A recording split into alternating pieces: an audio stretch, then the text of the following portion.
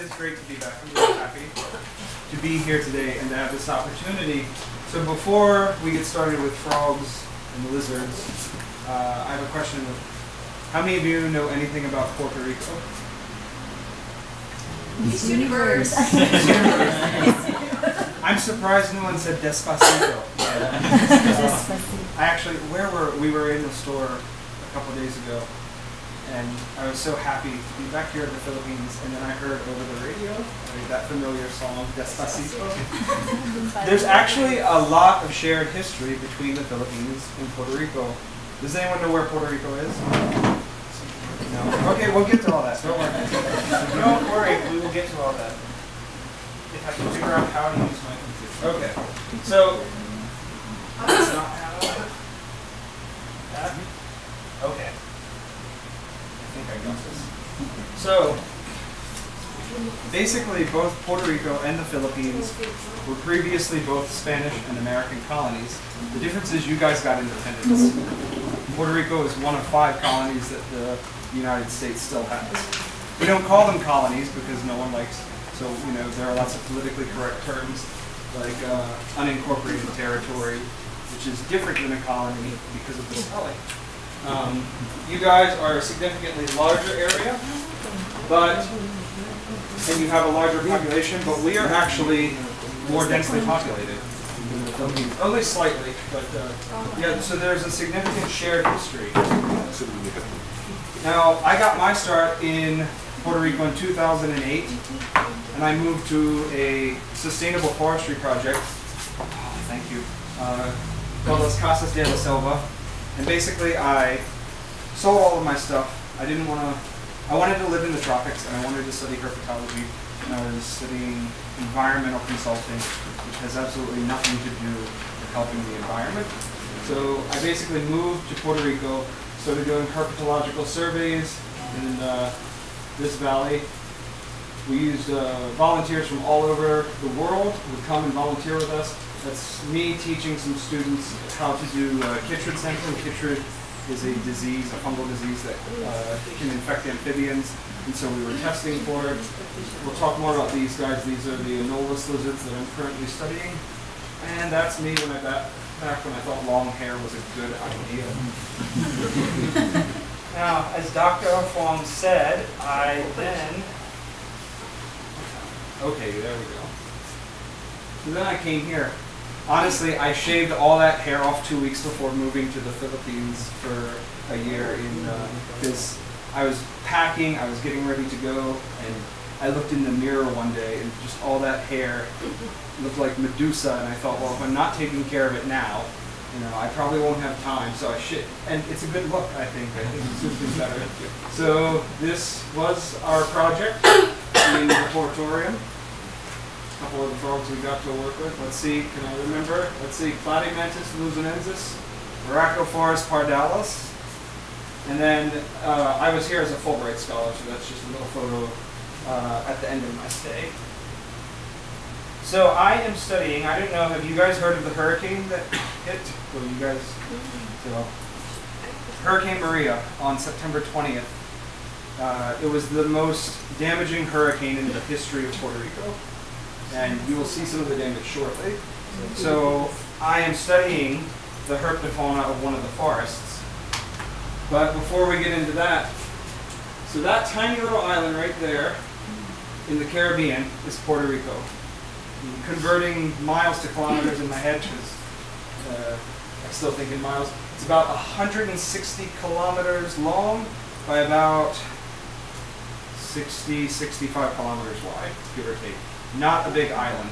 But we have one tiny mountain range and then one fairly extensive. You can see it's a tiny island, but very mountainous. Um, and because of that, we, as I already pointed out, have a pretty you know, big population density because we end up with a lot of land that you can actually inhabit. Have you guys heard of the Holdridge Life Zone system? So, generally speaking, it's a general way of classifying ecosystems. And basically, all you need to know from this is that, with the exception of the southwest coast, most of Puerto Rico is some form of either subtropical, moist, wet, or rainforest. So it is a heavily forested island, or was. Um, and it wasn't always like that. Puerto Rico is one of the most successful examples of reforestation in the world. Around 1910, 7% forest cover because the Spanish and the Americans pretty much cut everything down. And uh, there were reforestation efforts. There, were all, there was also economic development and incentives to get people to stop uh, to stop farming, basically, and move to the cities. And so when you leave fields fallow, what happens? Ecological succession. So now we're roughly at about 65% forest cover. Holdridge life zone is somewhat simplistic. So recently, some professors at UPR, University of Puerto Rico, along with uh, other partnering universities in the United States, use GIS as well as soil information and uh, plant community information to identify really intricate uh, ecosystem uh, kind of what do you want classification. And they identified 25 different ecosystems on our tiny little island. Now one thing to keep in mind about Puerto Rico, all of the red on that map is urban areas. So lots of forest, lots of cities. Not so much agriculture. We import 85% of our food. And that really hurt during the hurricane. But we'll get that to that in a minute. Because we are talking about lizards and frogs. So in the Caribbean, the most common lizard you are going to find are the anoles, genus Anolis. And they have 361 species in the genus. They used to have over 400 and then taxonomists kind of divvied it up. But I don't know if this is still the case. Back when there were over 400, it was the largest amniote genus on Earth. So amniote, any organism with amniotic fluid.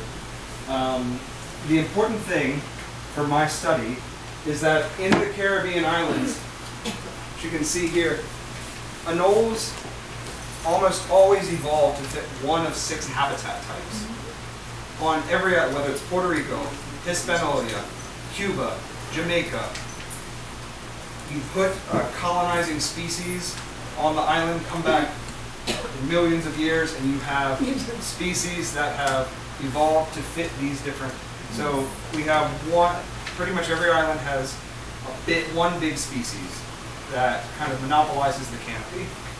Then you have species that use the upper levels of the trunk and some of the canopy. You have really weird ones called twiganoles. Most species have prehensile tails to actually help them pull onto the very tips. You have species that live on just the trunk, and then you have trunk ground species, pretty obvious. And then you have grass and bush anoles that actually don't usually live in forests and they prefer uh, open habitat. And to give you some examples, so this is what anoles look like.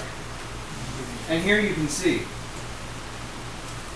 this. These are examples of canop of the crown giant anoles, the big anoles. This one is Anolis cuvieri from Puerto Rico. This one is Anolis garmani from Jamaica. They look very similar. They use similar habitats. They are not at all closely related. Uh, Dr. Jonathan Losos of Harvard, as well as many other scientists, have done a lot of genetic work. All the anoles on a particular island are much more close, closely related to each other than they are to their ecomorphs. So aside from the fact that these guys just look really cool, why do we even care about all these little lizards?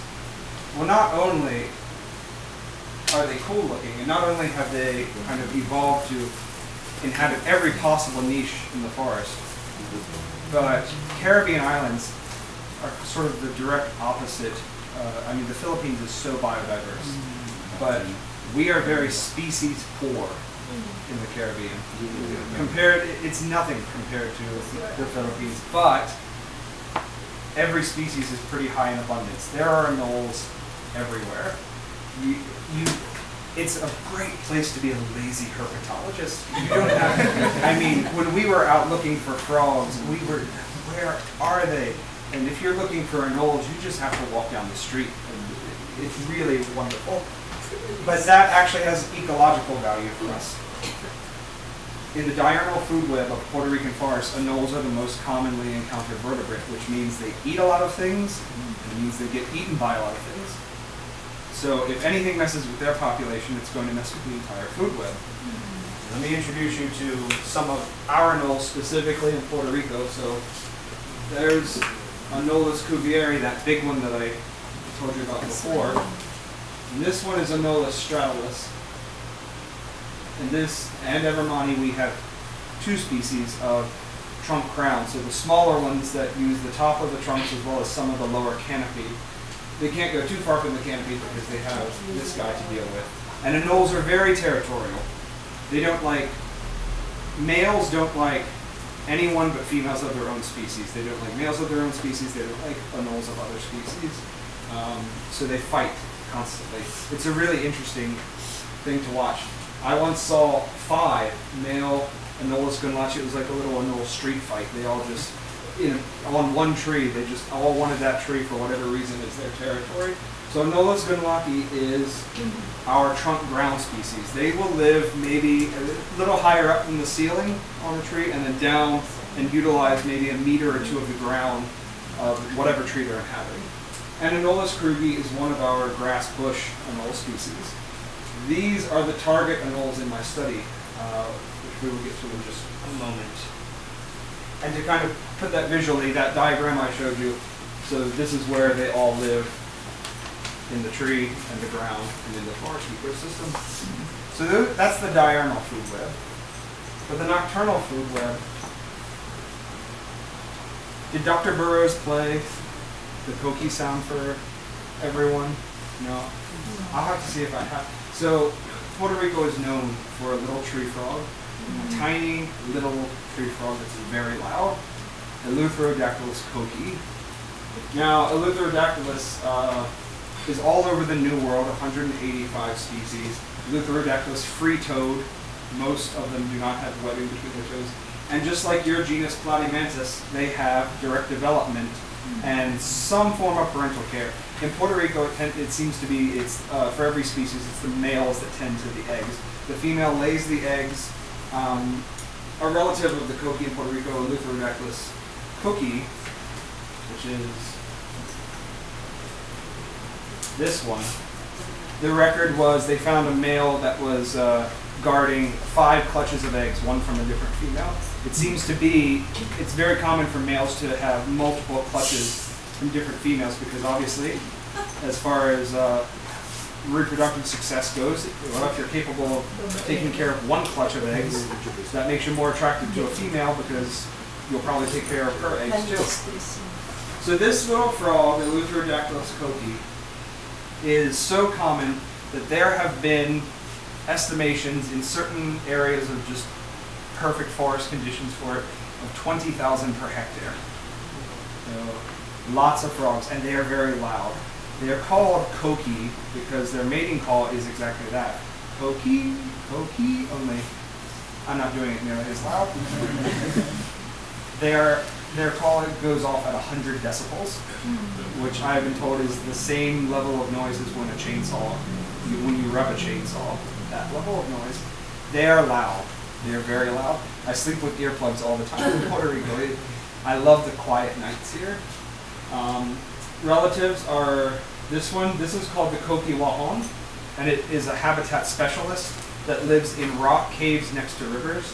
And then Eleutherodactylus richmondi this is a terrestrial coqui that uh, is actually critically endangered.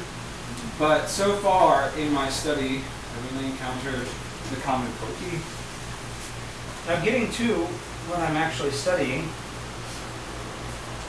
that's Puerto Rico, and that's Hurricane Maria. Hurricane Maria hit us, it started a little bit in the early hours of September 20th, this was the most damaging hurricane in the history of Puerto Rico. Um, we still don't have, so it's been seven months, we still don't have electricity back on the entire island. It wiped out everything. This is uh, an aerial view of flooding. The floodwaters didn't recede until almost a week later. you can see here's the path of the eye of the storm, although everything got hit.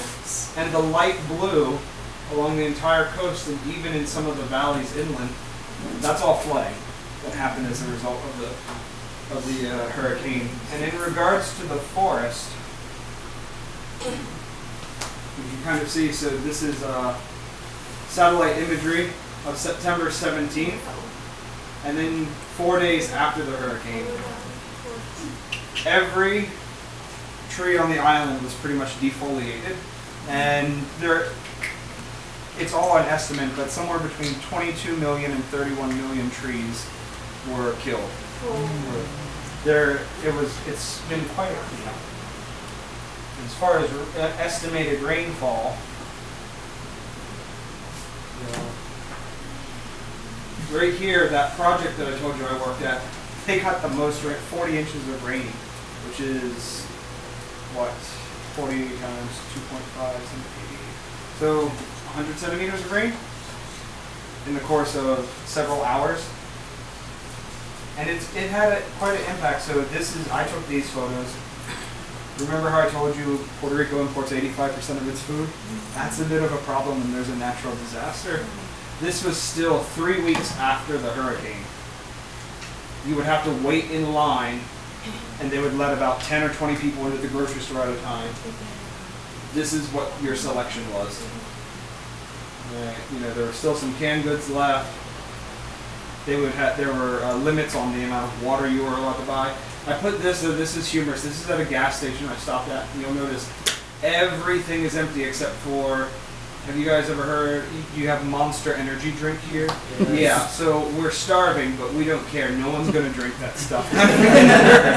it, it was literally the only thing in those cases still there. The forest, so at the project where I worked at in Patillas, this is, you know, this is common in the Caribbean with a hurricane. A lot of the trees have adapted so that they lose all their branches because it doesn't, you can regrow your branches. It does no good if you get toppled over in a hurricane. So basically the entire island looked like toothpicks. You can see some of the damage. Just all that, that's supposed to be a road. That's actually bamboo that collapsed over the road. That one little pine tree managed to keep some of its foliage. So it was devastating. And that brings me to what I'm doing now for my thesis, because I had to change my thesis topic. I was actually going to originally be studying turtles, and after the hurricane, pretty much everyone picked something dealing with the hurricane for their thesis topic. So my advisor works here, the El Yunque National Forest, and he proposed that we study what this hurricane did to the anoles and the frogs of the forest, because hurricanes are actually the limiting factor for forests in the Caribbean. We have many of the same species that you'll find in the Amazon, but you see those pictures where there's you know eight people around a huge tree, and it takes all of them linking hands to get. Trees won't get that big. They can't. A hurricane will knock them over. So the hurricanes are the number one factor that affect the structure of forests in Puerto Rico. We have some preliminary data because in '89 Hugo hit and it was a Category Three, and then in uh, supposed to be '98. Sorry, Georges hit and it was a strong storm, but it very quickly downgraded to a Category Two.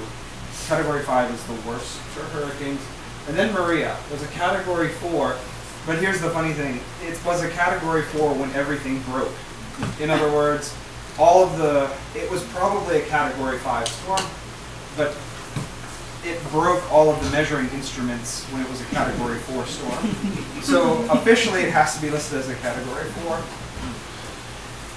So what happened? Well, there's El Yunque National Forest closed.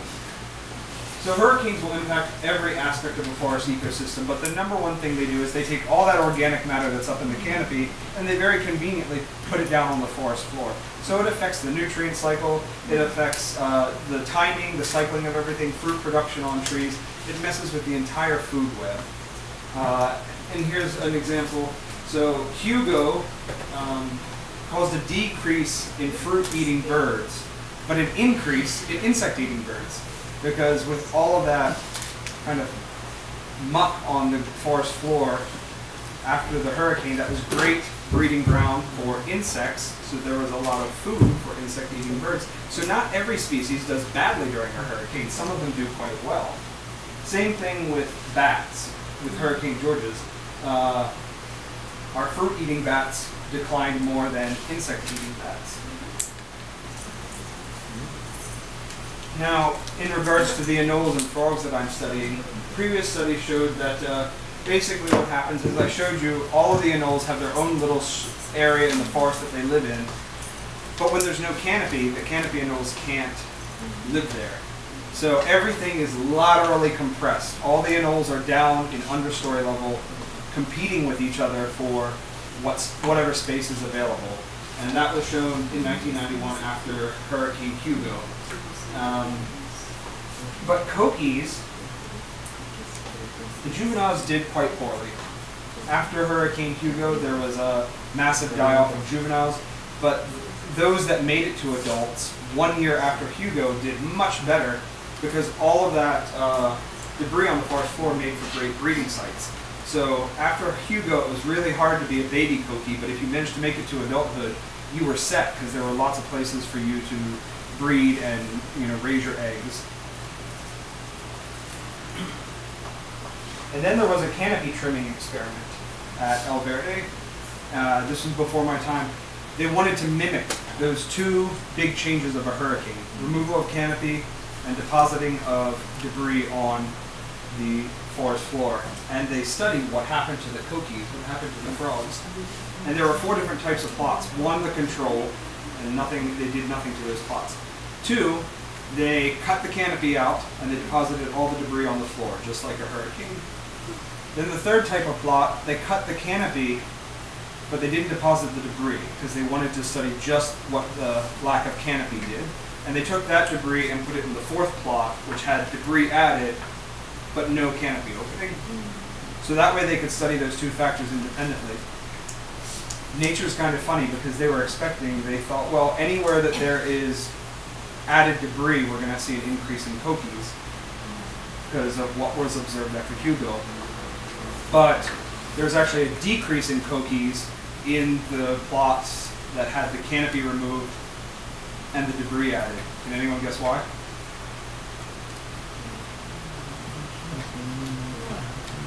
In all fairness, the people who designed the study didn't think of it. Because a hurricane destroys the entire forest. These are tiny little plots. The coquis just said, oh, open canopy, and they just moved 30 meters away to where it was still pristine forest, and they had their, you know, covered canopies. So that was really kind of a funny, a funny little uh, finding of that study. We can skip. So what I'm doing here, I'm kind of recreating previous work, but studying a hurricane that is, has been far more devastating than previous ones.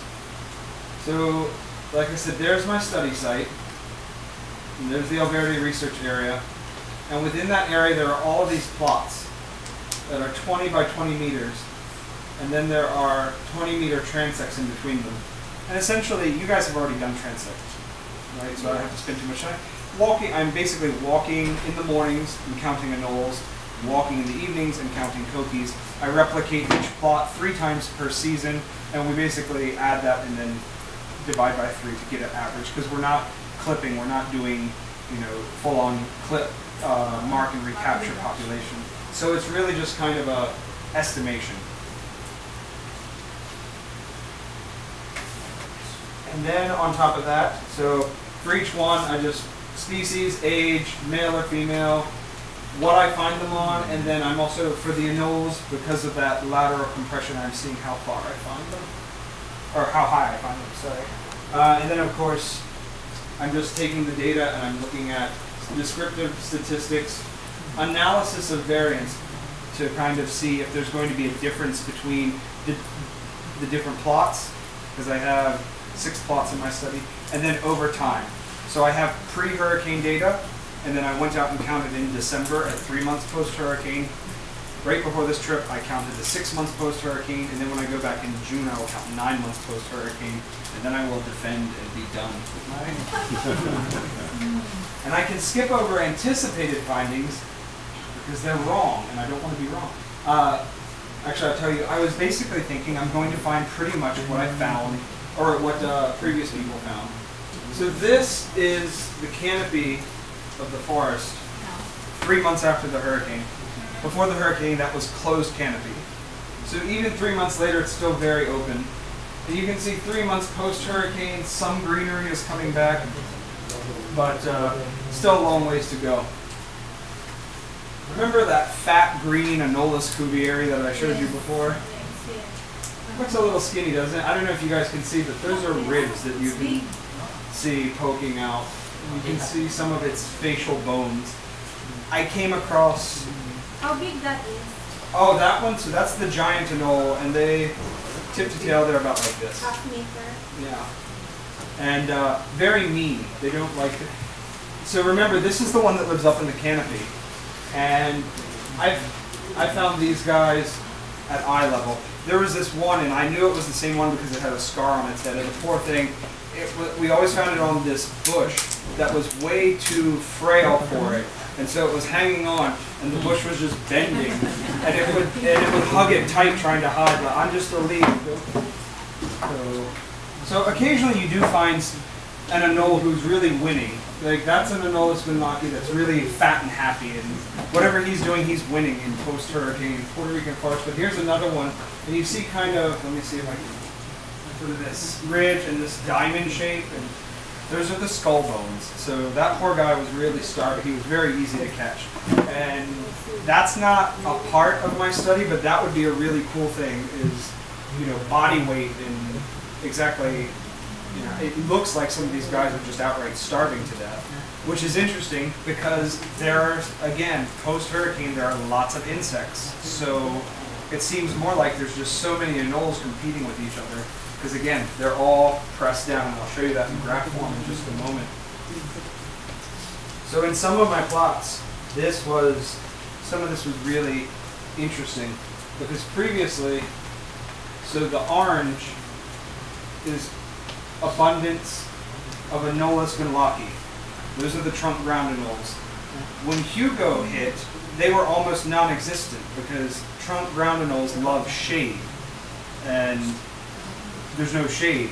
And this was actually a stronger hurricane, but I have more gundlachi in my plots than after Hugo, and I haven't figured that out yet. I'm currently in the process of collecting all sorts of data, uh, canopy cover, um, habitat structure. In other words, literally, I'm going through every five meters with a pole and measuring where do leaves and branches hit that pole at what height, and analyzing all that. Hopefully, I can find out why I actually have more Anolis. I mean, good for them; they survive. I'm not unhappy about that, but it is an unexpected finding that they're managing to do so well.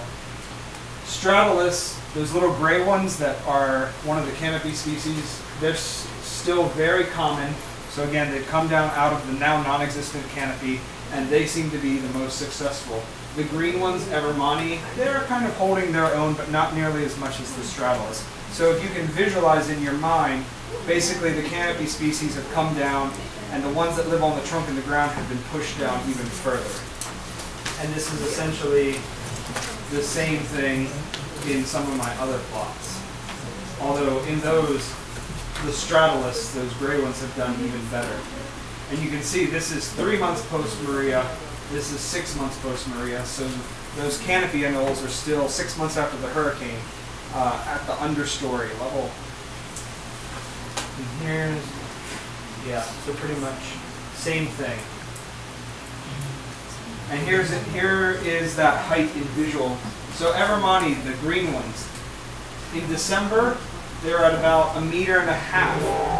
So I mean we're talking canopy anoles that are just right here. They have started moving back up in March. The average height was around three meters. Stratus, they're still really low. Now that's another canopy species, and they're both both at uh, three and six months post hurricane. They're still at about a meter and a half. And then poor Gundlachi, the ones that are naturally kind of on the trunk and on the ground, less than a meter in height is where I'm finding them because the other anoles are just kind of pushing them out of their natural habitat. And here's just a different plot, and you can see now here the stratulus are moving up just a bit more. B2, B2 actually didn't have as much damage as some of the other plots, so there's probably more habitat them. But again, gundlachi, less than a meter is where you're fi I'm finding those little brown anoles. And then this is just kind of for the coqui, those little frogs. In four of my plots, that's the average number of coqui, so 25, 22, 58, 41. This was pre-hurricane. This was December of 2016. And then in December of 2017, you see we have declines, and then it, that, oh sorry, that's supposed to be March, so this was just before I flooded. Yet more declines. And that visually, you can see, is like this. So our coqui populations are declining. Again, another thing that's the opposite of what was found after Hugo. Anyone want to take a guess? Reason. It's indirectly related to the hurricane, mm-hmm. but not Maybe temperature. temperature and humidity. A lot of times, some, well, not always, but sometimes, as happened with us after a hurricane, there's a drought. Interestingly enough, after Hugo, that drought was immediate. So when they got out and did the study, it had passed the drought time, and I guess they have recovered. What I think is that, you know, the drought actually started, so that's December, it started around January was when it started getting really dry, and I mean really dry. We didn't have hardly any rain from January. From January until the day I got on the plane to come here, I think it rained four times, which is unheard of, even in the dry season for Puerto Rico, and especially at El Yunque Forest, which is normally the wettest forest on the island. We can skip over the literature cited I thank my committee, and LTER is the long-term ecological research. Basically, I'm at that stage in graduate school where I get to get younger people and make them go out and count anoles with me, uh, whether they want to or not, which is very helpful. PR, LSA, and P is my fellowship. They paid for me to come here, so I thank them very much. And of course, I have to thank the faculty at UPLB and here at the museum. It's been absolutely wonderful to have this chance to come back and talk to you guys, and I hope you learned a little something from this presentation in spite of our technical difficulties. And uh, I hope this makes you want to come see Puerto Rico. Once we get electricity back, wait a little while longer. It'll be a lot nicer if you wait till maybe next year. Unless we get another hurricane, and then my thesis project might change yet again. It'll be titled, Is There Anything Left in the Forest? Thank you guys.